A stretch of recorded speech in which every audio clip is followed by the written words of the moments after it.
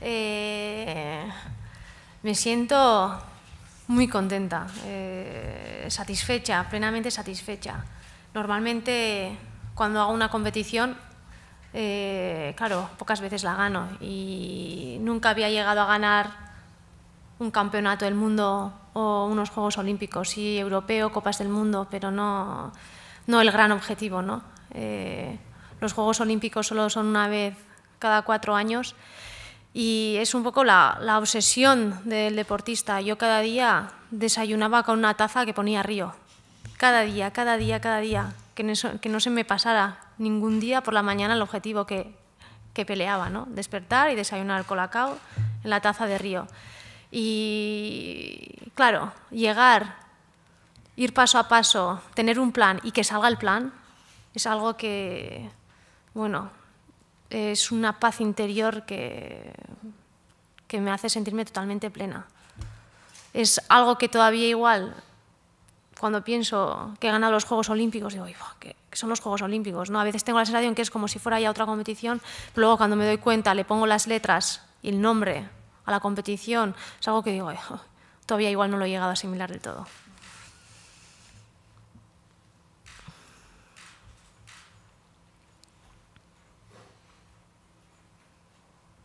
¿Alguna otra pregunta? La vi el mismo día, eh, el mismo día de la competición, el 11 de agosto, fuimos a Televisión Española y me la pusieron allí. Me preguntaron si quería verla. Y yo no suelo ser mucho de ver mis finales. Eh, ya he analizado muchísimos entrenamientos, clasificatorias, semifinales para preparar esa final y normalmente ya la final ya se ha terminado y digo, ya está, ya se ha terminado. O sea, haya salido lo que haya salido, no lo suelo verlo. Pero ahí me lo pusieron y no puedo evitar verlo y me gustó más de lo que sentí mientras bajaba, porque mientras bajaba tenía la sensación de que no estaba siendo muy rápida, porque hay pequeños errores, errores hay siempre en el slalom, pero bueno, eh, igual los errores los sentía un poquito más grandes. Y, y, después de ver la bajada, pues entiendo, ¿no? Porque es ese 98 de tiempo.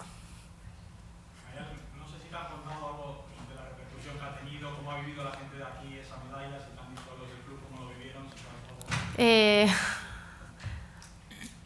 me ha parecido impresionante cómo se ha emocionado la gente, cómo lo ha vivido y bueno, el calor que he sentido en todo momento, eh, antes de y después de, eh, ha sido algo que me sigue impresionando.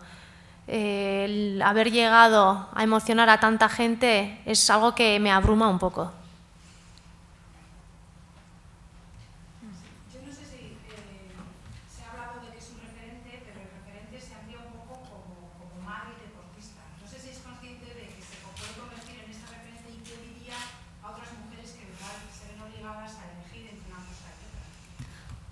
Eh, yo puedo contar mi historia, ¿no? no eh, yo de cuando terminaron los Juegos de Londres eh, tenía claro que yo quería llegar a Río capaz de pelear esa medalla de oro, porque bueno, en Londres estuve tan cerca que, y como no la, no la tuve, yo quería tener esa medalla de oro. No sabía si la iba a conseguir o no, pero también que quería ser madre y no quería dejar una cosa de lado por la otra. Eh, no ha sido fácil. Eh, todo el proceso del embarazo, el parto, la recuperación, eh, no es algo sencillo. Hasta este año puedo decir que no me he llegado a sentir fuerte, de verdad fuerte, pero bueno, es un proceso que me ha llenado mucho como persona. no, no, lo cambiaría por nada. Creo que es muy difícil conciliar la vida laboral eh, con la maternidad, porque bueno, las políticas sociales hoy en día sobre conciliación pues, son bastante duras para las familias. ¿no? Eh, creo que se sustenta mucho el sistema al final en los abuelos, en, en guarderías, y creo que es algo que debería irse cambiando poco a poco. Yo lo he podido conciliar, eso sí, lo he peleado mucho, pero tampoco me siento quien para dar consejos o lecciones. Cada familia tiene su, forma, su forma de organización y, cada uno hace lo mejor que puede.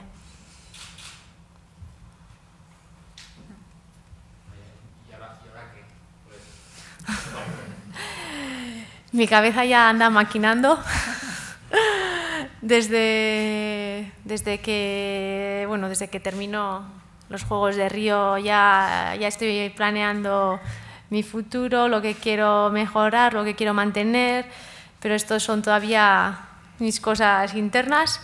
Pero he de decir que ante este nuevo ciclo olímpico, eh, es un ciclo olímpico bonito, con un mundial el 2017 en Po, que es nuestro segundo lugar de entrenamiento, entre la SEU y la SARTE, ahí, en la mitad, a mitad de camino, así que... Además, en Francia, organización impecable, mundiales para vivirlos. Entonces, es un mundial muy bonito, que por supuesto me da ganas de prepararlo. Y después, Campeonato del Mundo 2018 en Río, y sobre todo Campeonato del Mundo 2019 en la Sedurriel, donde entreno cada día. Eh, nos ponemos en año preolímpico. El 2009 saqué mi primera medalla en un Campeonato del Mundo en la Sedurriel y, y bueno, fue después de unos Juegos Olímpicos malos en Pekín, fue mi obsesión y el recuerdo que tengo es precioso y me gustaría volver a, a repetir y al ponernos en año preolímpico es que ya está Tokio. Pero claro, ahora miro aquí, todavía son cuatro años. Entonces, mi cabeza ya está maquinando, pero paso por paso, ahora disfruto, eh, necesito descansar un poco también. Eh, por primera vez siento que necesito tener unas vacaciones. Hasta ahora siempre he terminado la temporada ya al día siguiente ya estaba entrenando y tengo muchas ganas de remar, pero también siento que tengo que descansar un poco para planear muy bien siguiente ciclo olímpico. Pero eso sí, paso a paso y día por día. Nuestro plan era no ganar nada, solo ganar la final. Entonces, el día de las clasificatorias me vi totalmente fuera, después de la primera bajada, en una maniobra que desde que la vi en el agua fue mi obsesión, no me dejaba dormir esa maniobra. Eh, después de un par de horas luchando entre la primera bajada y la segunda, con mi mente bueno, lo sacamos, ya estaba contenta, estaba dentro, los juegos seguían siendo para mí algo vivo todavía, ¿no? Eh, porque llegó un punto que pensaba, uy, que me voy a quedar fuera. Aquí tanto preparar paso a paso clasificatorias que igual me quedo fuera, que no voy a poder jugar en estos juegos. Para mí el jugar es en la final. Hasta la final todavía no ha empezado el juego, eso pasar las obligaciones. Eh, una vez pasas las, las clasificatorias tenía muy claro, eso es pasado. El recorrido que ponían para semifinales era nuevo, tenía dos días para poder estudiar el recorrido y, mi bajada, porque primero competían el día 9 los canoas, el día 10 los kayakombres y el día 11 me tocaba a mí. El día 9 fue muy emocionante porque competía Ander Elosegui. Eh, Ander Elosegui bueno, venía muy rápido, remando muy bien, como siempre él. Eh, Ander tiene una calidad increíble en el agua, es veloz, y tiene una finura que es que solo los elegidos lo tienen. Entonces fue un día muy emocionante, en las semifinales marcó el segundo mejor tiempo y luego, bueno, eh, con la final todos nos quedamos un poquito cabizbajos porque tuvo dos toques ¿no? que le alejaron de, de esa medalla, ¿no? esa medalla que tanto se merece y que parece que le espera. Eh, al día siguiente descansar muy bien y, estudiar muy bien los kayak hombres. Eh, los kayakistas eh, reman una piragua igual que la mía y bueno, ver, analizar muy bien sus paladas, el ritmo, cómo iban, cómo afrontaban la semifinal, la final, para ir cogiendo datos. ver vídeos, ver todas las bajadas que hicieron y ya toca mi día. tengo que decir que dormí súper bien la noche de, que me toca competir a mí, cuando normalmente me cuesta, dormí 10 horas de tirón y, y bueno, me desperté descansada y fui a por mi competi. Pero eso de ganadora, no ganadora, yo siempre suelo dudar mucho, soy una persona con muchas dudas y bueno, también tuvimos alguna que otra discusión por dudar tanto, pero sí que dudo mucho, pero cuando tengo que competir es cuando me enfoco, es cuando me siento ya segura y confiaba en que llegaría ese momento. ¿cuándo Cuando llego veo que es un tiempo muy bueno, que tanto, pero que tanto Fiona como Corina lo pueden hacer. Pero al ver el tiempo, yo ya cumplí con mi deber, lo demás ya estaba en mano de las demás. Yo ya estaba contenta conmigo porque yo ya lo había hecho, ya lo había conseguido. Sin saber que sería oro, plata o bronce, yo ya sabía que yo ya lo había hecho. Yo lo mío ya lo di todo y lo había hecho bien. Eh, a diferencia con Londres, cuando llegué, no, no llegué contenta, no, el tiempo no, no era el tiempo que a mí me hubiera gustado hacer, pero aquí en Río, al ver ese 98, ya está, no, ni me preocupé de lo que estaban haciendo ni Fiona ni Corina, no, las emociones no, no, no me dejaron preocuparme, era un tiempo de, de, oro, no lo sabía ciencia cierta que sería oro, pero ya, ya lo estábamos celebrando. Tengo varios momentos. Eh, me quedo el primer momento mágico, la foto de todas las competidoras chicas en los aros olímpicos el día de la inauguración. Todas las competidoras de slalom eh, nos juntamos para sacar la foto que empezamos a hacerlo en Londres. Y es algo precioso. Todas las chicas que vamos a competir, que yo voy contra la otra, contra la una y contra la otra, pero es el espíritu olímpico, somos una familia. Eh, y ese momento para mí es mágico, y fue mágico. Eh, después también me quedo con hacer tan mal la clasificatoria y sacar la segunda bajada, sacarla adelante, hasta el último momento luchando. Y en cuanto terminé, eh, ya dije, ahora soy más fuerte de lo que era ayer.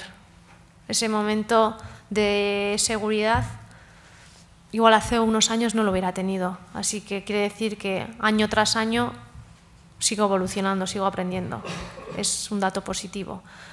Y el momento de la llegada, eh, nunca me he puesto a gritar así en la vida, no me pude contener y luego sentí auténtica vergüenza.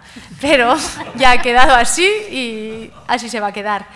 Y desde luego, cuando salí del agua, verle ahí a Anne, que no ha podido entrar en las instalaciones del canal durante los entrenamientos que hemos ido y todo, y poder tenerla ahí eh, tocando el agua del canal y, diciendo que he ganado, eh, eso fue magnífico. Y es que hay muchos momentos, cada día me vienen flashes el momento también cuando llego, ver a los entrenadores, verle a Xavi, a, Taberna, a Aritz, a Ekait, eh, con una sonrisa de, oreja a oreja y, verlo disfrutar, eh, verlos satisfechos, contentos. Eso es mágico también. Y es que, no sé, y la emoción que me va transmitiendo la gente. Eh, hablar con mi hermana y decir que es que el pueblo está que bulle. Eh, la familia emocionada es, es grande. Y lo único, eh, la pena de haber terminado los Juegos con la noticia del accidente del alemán y un accidente de taxi, cuando hemos viajado mucho allí en taxi, que siempre decíamos, no vemos accidentes, no, eh, la vida allí no es fácil y, bueno, a ver qué les traen los Juegos, pero esa es un poco la nota negativa de estos juegos.